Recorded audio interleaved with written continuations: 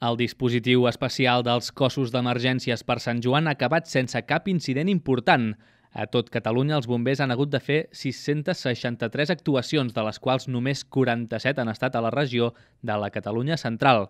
En total, el telèfon d'emergències 112 va rebre més de 5.200 trucades, que han acabat amb l'obertura de gairebé 3.000 expedients.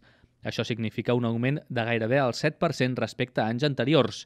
Des del cos d'agents rurals també han hagut de portar a terme fins a 669 actuacions específiques per Sant Joan. La majoria d'elles han estat per inspecció de fogueres i també per comprovar el respecte a les ordenances de llançament de material pirotècnic. En aquestes actuacions, però, no s'ha aixecat cap denúncia. De fet, 42 actuacions han estat per realitzar informes de viabilitat de fogueres en espais principalment urbans, tot per enviar aquests informes al Departament d'Acció Climàtica.